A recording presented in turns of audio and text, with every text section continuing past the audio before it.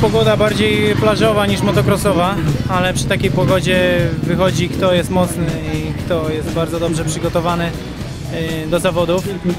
Przede wszystkim trzeba bardzo dużo się nawodnić dzień wcześniej, co jest bardzo ważne i wtedy zawodnik ma się czym pocić.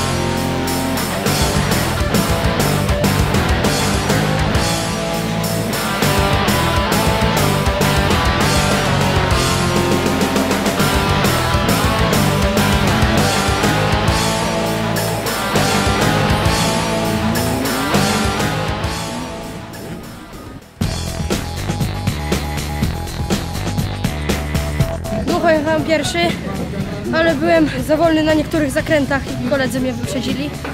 A tak to poza tym było dobrze. No fajnie się jeździ. Fajnie, że jest gorąco, bo ja lubię. Tor bardzo fajny, trochę dziury. Eee, przyjechałem 14. Ja miałem trochę słabszy motor, bo jechałem 60 na dużych kołach, a oni jechali 80, dlatego mieli większe szanse. Upał ciężko będzie na pewno. Mam trzeci czas, ale tam nie, niewielkie różnice są czwarty, piąty, także. Przyjechałem tutaj z Oskarem Barańskim, z jego tatą i razem próbujemy zrobić coś, żeby jak najlepiej wypadł. W tym roku miałem w lutym kontuzję, miałem złamaną nogę yy, yy, pod kolanem. W tym sezonie szału się nie spodziewamy, ale pod koniec sezonu może coś tam się już polepszy. Po czterech miesiącach przerwy to nie ma, nie ma niczego lepszego się co spodziewać. Taki betonowy tor to nie jest mój ulubiony.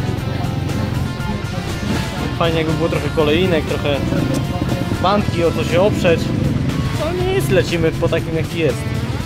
Chodzę na kulach, bo w Bartoszycach nie polali toru.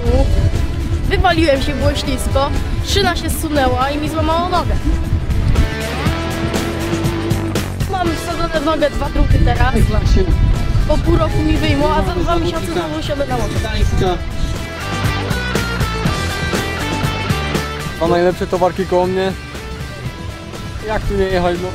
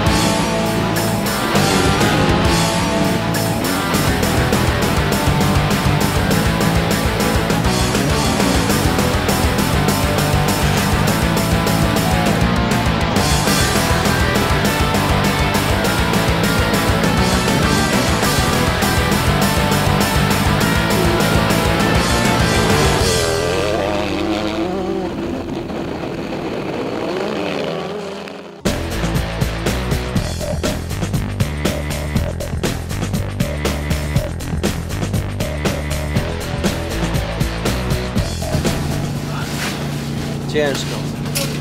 Nie leży mi ten tor jeszcze taki upał. To jest masakra jechać 25 minut z okrążenia.